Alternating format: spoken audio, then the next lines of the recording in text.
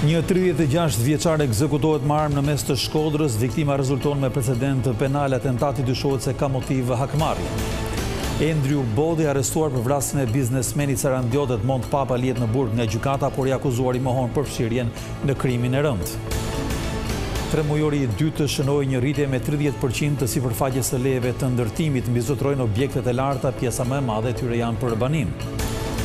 Ministri i Mbrojtjes Pirro Vëngu zhvillon një vizitë zyrtare në Kosovë një ditë pasi Serbia bleu dymbëdhjetë avionë nga Franca, diskutohet stabiliteti në rajon.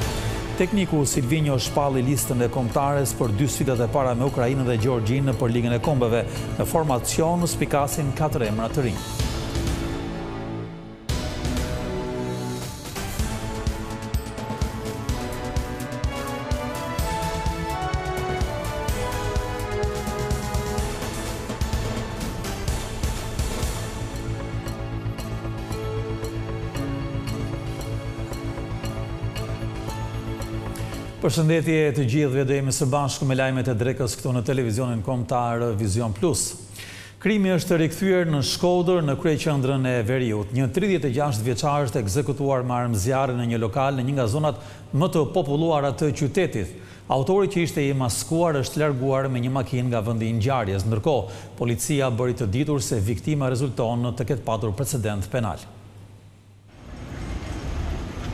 Shkodra u trondit nga një atentat në orët e drekës së kësaj të premteje ku viktimë mbeti tridhjetë e gjashtë vjeçari Elis Rroshkodoli. Ai ka qenë duke pirë kafe në një lokal në lagjen Ahmet Haxhia kur një person i është afruar duke e qëlluar plot gjashtëmbëdhjetë herë në drejtim të tij dhe duke e lënë të vdekur në vend. Ngjarja ndodhi rreth orës dymbëdhjetë e tridhjetë minuta, ndërsa viktima duket se ka qenë i përgatitur për një atentat të tillë, pasi policia i gjeti në çantën e dorës në tryezën ku mbeti i vrarë një pistoletë me fishek në fole gati për qitje.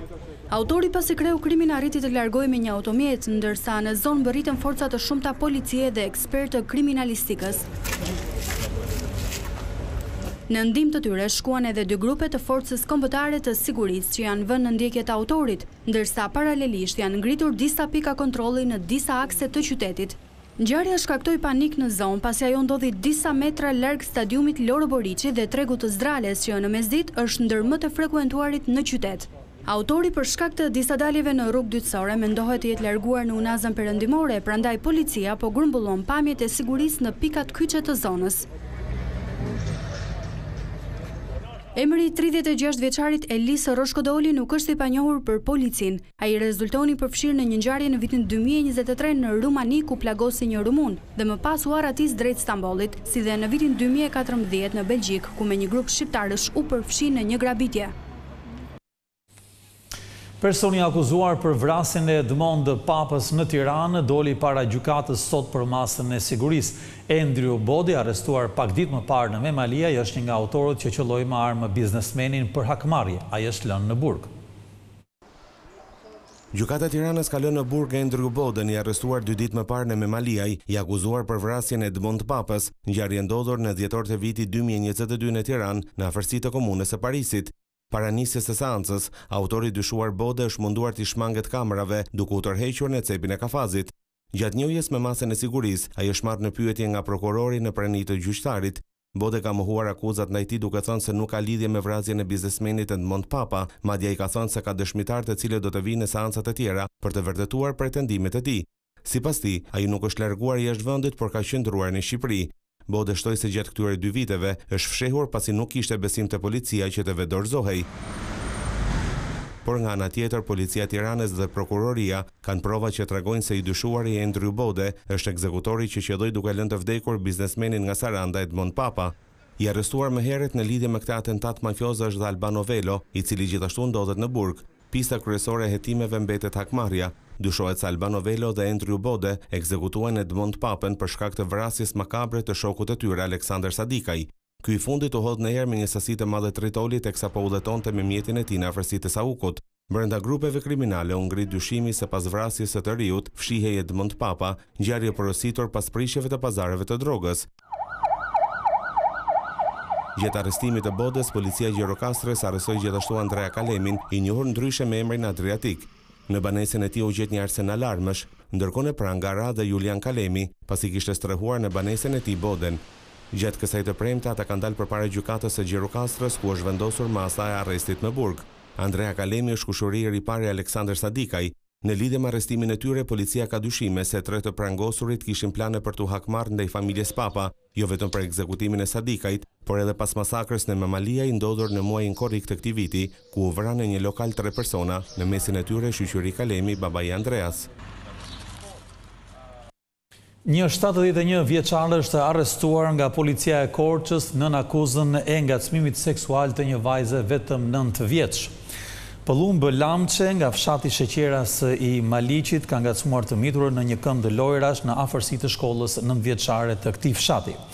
Burime nga policia lokale bëjnë me dije se ngjarja është zbuluar rastësisht nga një vajzë njëzet vjeçe, e cila po kalonte pranë shkollës. Ajo e ka parë dhe ka filmuar gjestet e turpshme që shtatëdhjetë e një vjeçari ka kryer me minorenën.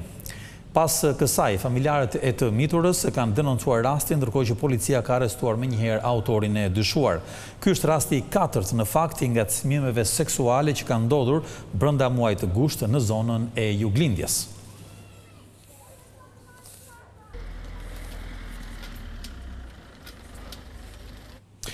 Tre të rinjë, vëllezërit Emanuel dhe Silvestër Kapaj, si dhe Eremis Vola janë vënë në pranga në Malësinë e Madhe pasi janë kapur duke kultivuar kanabis sativa në një zonë të thellë malore.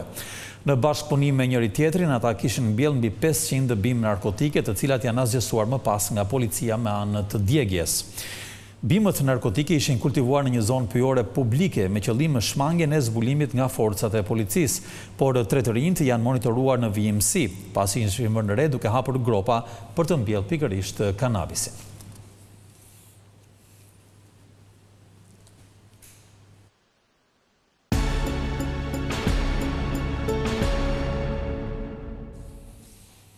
Kryebashkiaku i Tiranës ishte sot në lagjen pesë Maj për të parë ndërtesa që do strehojnë familjet e dëmtuara nga tërmeti i vitit dy mijë e nëntëmbëdhjetë. Kur mbeten edhe pak ditë nga nisja e vitit të ri shkollor, Veliaj tha se shumë nxënës do të mësojnë ambiente krejtësisht të reja.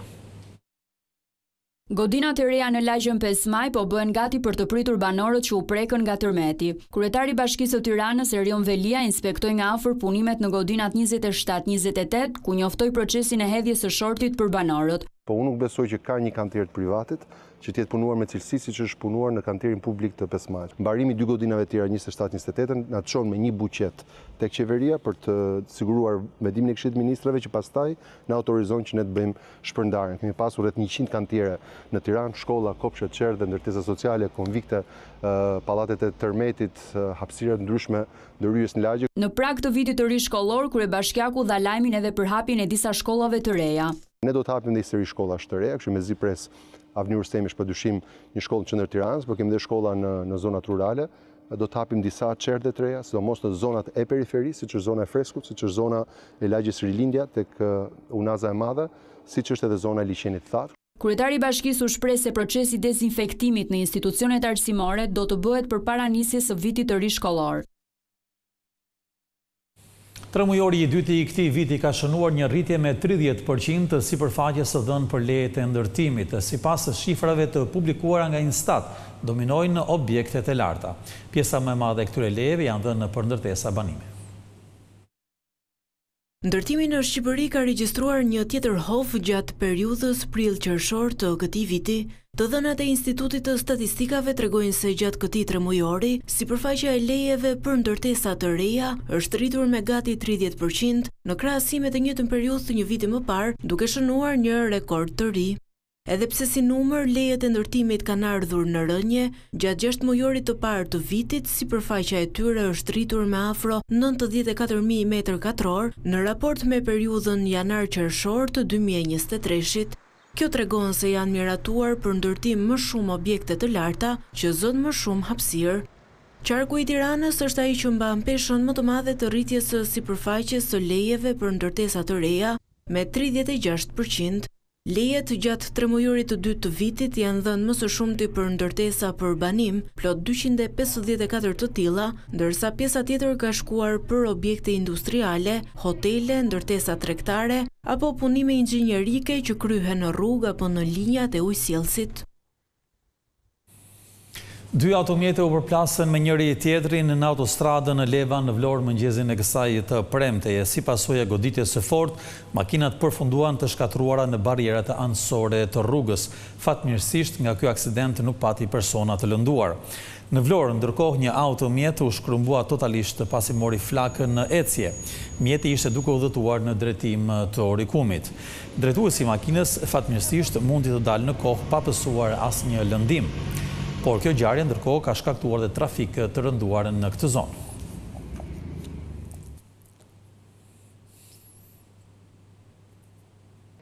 Por Albin Kurti është përpjekur të zbusë kritikat që presidenti Macron bëri nga Beogradi. Kreu i Qeverisë së Kosovës është shprehur se Prishtina mbetet e vendosur për sundimin e ligjit në bashkëpunim të ngushtë me aleatët, ku përfshihet dhe Franca. Kryeministri i Kosovës, Albin Kurti iu përgjigj deklaratave që presidenti francez, Emmanuel Macron bëri nga Beogradi të enjten në mbrëmje. I pyetur nga gazetarët, Kurti tha se qeveria e tij është duke vendosur sundimin e ligjit dhe rendit publik, si edhe duke siguruar paqe dhe siguri për të gjithë qytetarët e Kosovës pa dallime etnike. Dhe në këtë aspekt duam edhe bashkëpunimin e ngushtë edhe mbështetjen ndërkombëtare, përfshirë këtu natyrisht Francën, të cilën e konsiderojmë vend mik, aleat e partner shumë të rëndësishëm edhe në Bashkimin Evropian edhe në NATO. Deklaratat kryeministri i bëri pas homazheve pranë përmendores së personave të zhdukur gjatë luftës në Kosovë. Kurti përsëriti edhe thirrjen që ndërkombëtarët të rrisin presionin ndaj Beogradit për hapjen e arkivave serbe, ku ai tha se fshihen shumë të vërteta. Ndërsa ambasadori amerikan në Prishtinë, Jeff Hovenier, kërkoi nga institucionet dhe zyrtarët që të kapërcejnë mosmarrëveshjet dhe të zgjidhin çështjen e personave të zhdukur. Ministri shqiptar i Mbrojtjes Pirro Vëngu ndodhet sot në Prishtinë për një vizitë zyrtare. Pas takimit me homologun kosovar, ai nënvizoi rëndësinë e bashkëpunimit me KFOR-in për menaxhimin e situatave të sigurisë.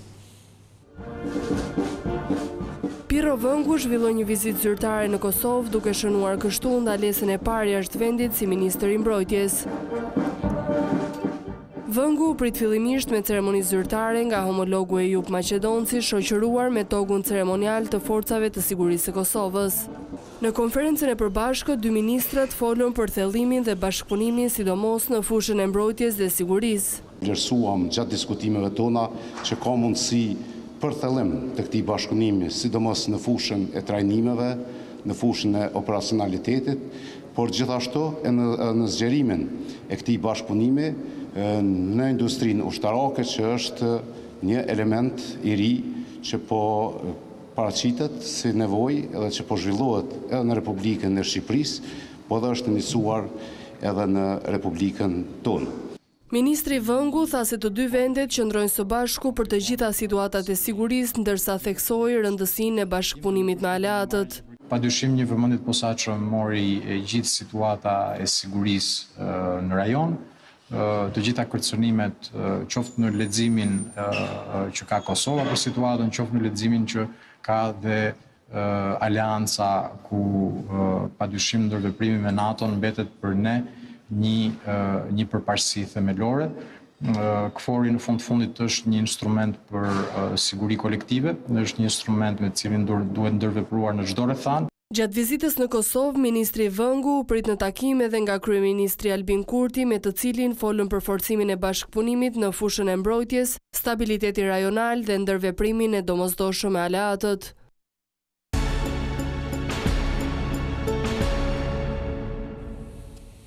Shqipëria futet në ethet e dy takimeve të Ligës së Kombeve kundër Ukrainës dhe Gjeorgjisë. Trajneri Silvinjo publikoi listën e katër lojtarëve të grumbulluar për këto dy sfida. Emra të rinj janë Alen Sherri, Andi Hadroj, Sebastian Spahiu dhe Agim Zeka.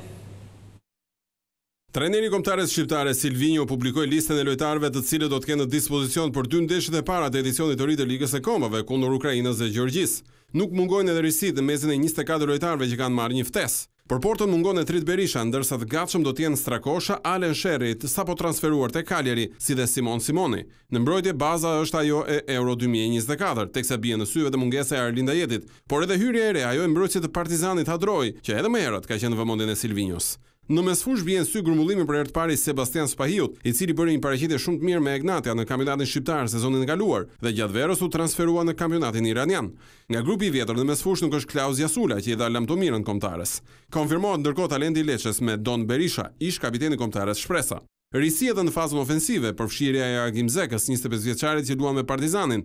Të tjerë sulmues të grumbulluar janë Armando Broja, Rei Manaj dhe Taulant Seferi, pa lënë mënjanë edhe dy lojtarët e krahut, Asani dhe Hoxha.